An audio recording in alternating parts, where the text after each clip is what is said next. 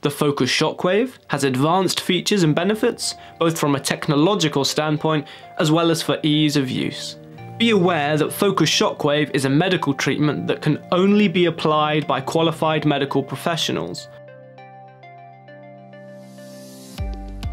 Lift the main unit from the box carefully.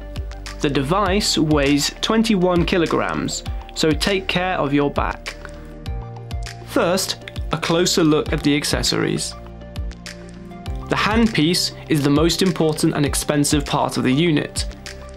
Two standoffs. The fixation ring for the standoff. A small bottle of silicone oil which is needed for the standoff. A 500ml bottle of silicone oil to refill the small bottle. A water bag needed to fill up the cooling system of the main unit. This bag should be filled with demineralized water before starting the installation process. Demineralized water is not provided with the device. A bottle of acoustic gel needed for optimal energy transfer. The handpiece holster with fixation tools. A power cord and an operating manual on CD-ROM. We will now mount the handpiece holster. This holster can be installed on either side of the unit according to user preference. If mounted on the left side, first remove the plastic caps from the screw insertion points.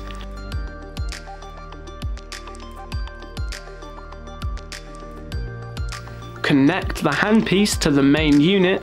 The serial number of the handpiece is marked on this label. Take note of it as you may need it for servicing the device. Insert the handpiece connector in the appropriate slot on the main unit. The connection should be smooth and without resistance. Once the module is properly connected, turn the black dial clockwise to the furthest point without forcing it. Then place the handpiece on the holster. Connect the power cord to the mains and switch on the unit at the back. The display should light up along with instructions to guide you through the process of filling up the main unit with water.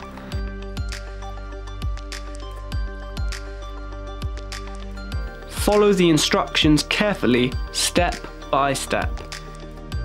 If you make a mistake, switch off the device and start the procedure again. The first step consists of filling the water bag with demineralized water.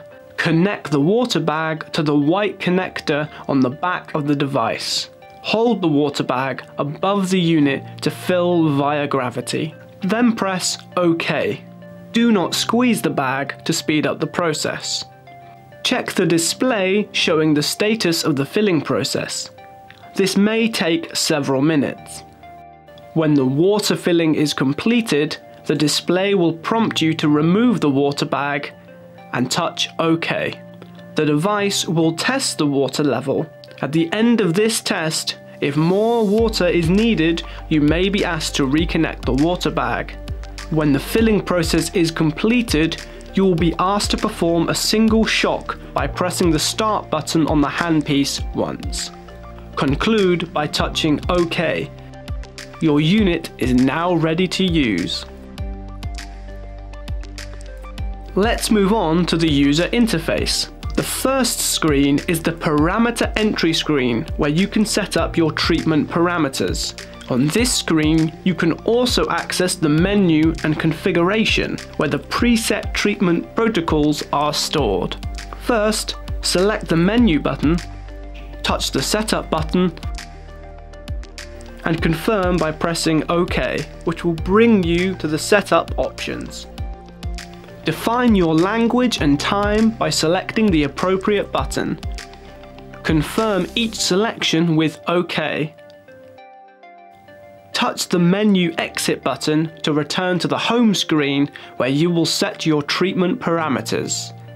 Select energy and adjust using the up and down arrows.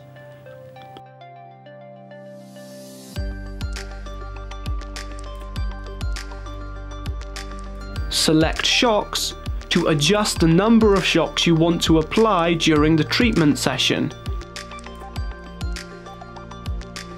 select frequency and adjust, again using the up and down arrows. Be aware that frequency is linked to the energy level.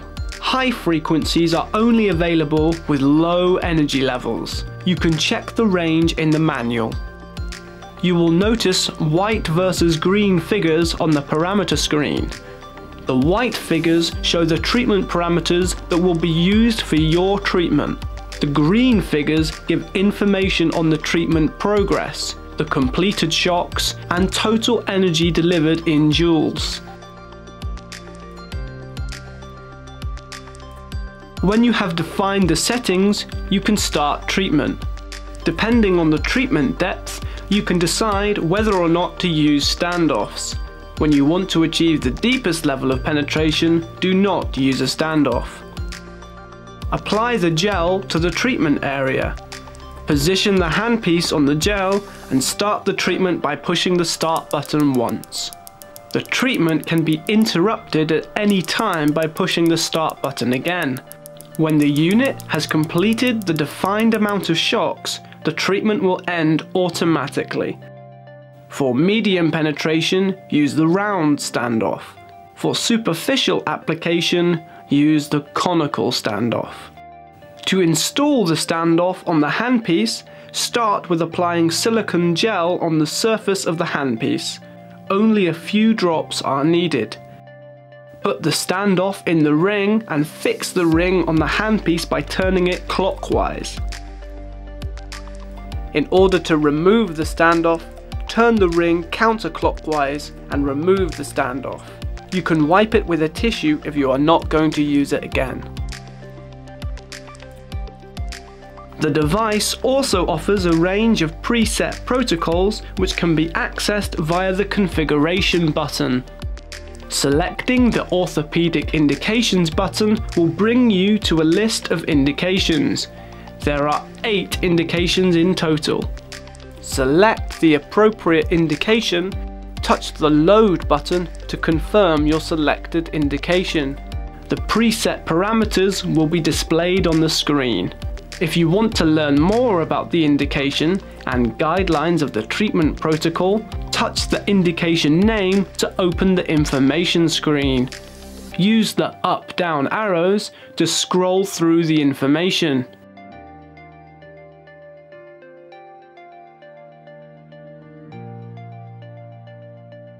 You can modify the parameters for energy, shocks and frequency if needed. Before starting a treatment, always touch the screen once, anywhere, to confirm the settings. Install the appropriate standoff as indicated in the protocol guidelines and start the treatment by pushing the start button on the handpiece.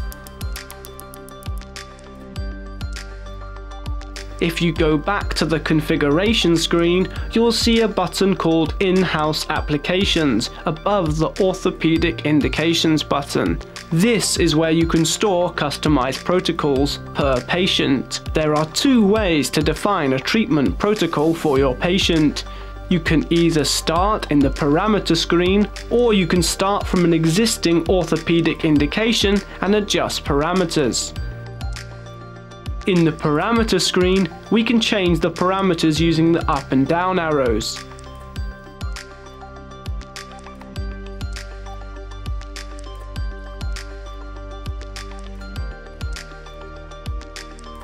Once we have set the parameters, we can save the protocol as follows.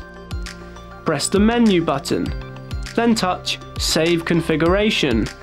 Confirm with OK and save by touching the save button. An automatically generated name will be created for your protocol using the current date and time.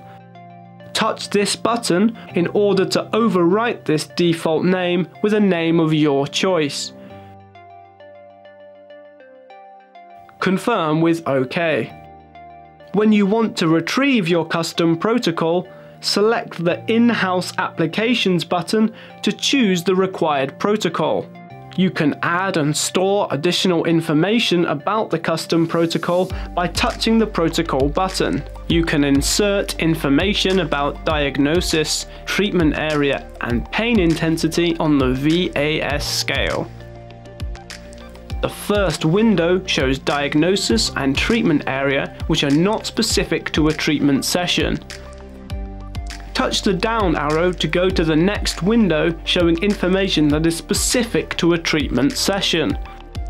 The VAS score can be defined and stored for each treatment session, allowing you to see the pain progression throughout the sessions. The number of the session is displayed before treatment, and the parameters of the session are automatically stored and displayed. You can use the up-down arrows to scroll through the treatment sessions.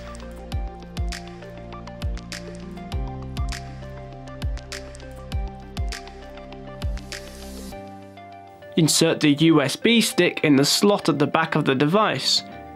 Touch the menu button on the main screen, select Data Transfer and confirm with OK. Select Export Treatment Data and confirm with OK.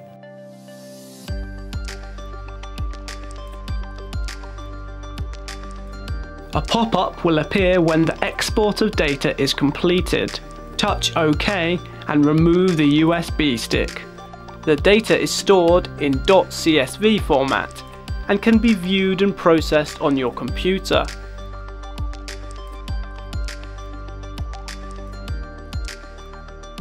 We will now take a tour through the menu items on the screen. Actual value reset. This resets the green treatment figures on the parameter screen to zero. Save configuration. This was shown earlier when explaining the patient custom protocol.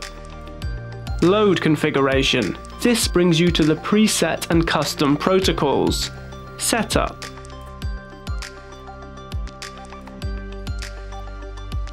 The Info button provides technical information about the device and software. Language and Time button allows for setting your language and date and time.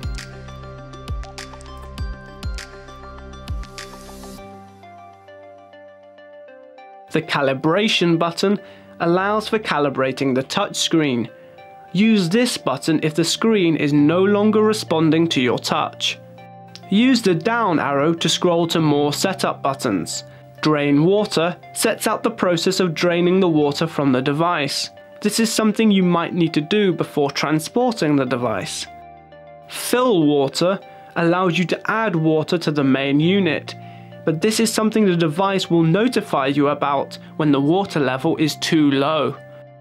The degas water circuit button allows you to eliminate air bubbles in the water. This might be required if you have received frequent notifications related to the water level. Reset water change time. Each time when you change the water, it is recommended to store this date and time in the device.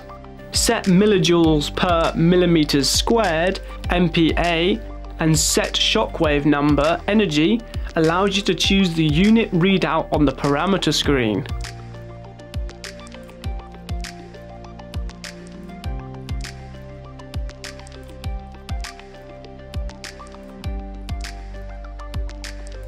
When the auto frequency is on, the frequency will be automatically adjusted to the energy level. Higher energy levels are associated with lower frequencies. Warning history provides a log of the warning messages. Software update is for the technician's use. Predefined indications allows you to turn the predefined protocols on or off.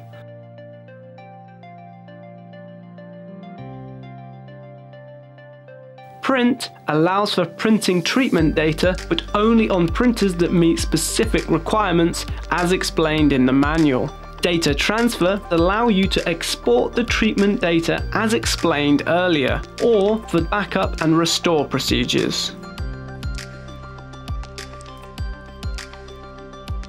Select the water drainage button from the setup screen. The water drainage process is the reverse of the water filling process. Connect the water bag to the white connector on the back of the device.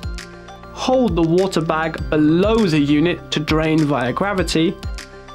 Follow the instructions on the screen.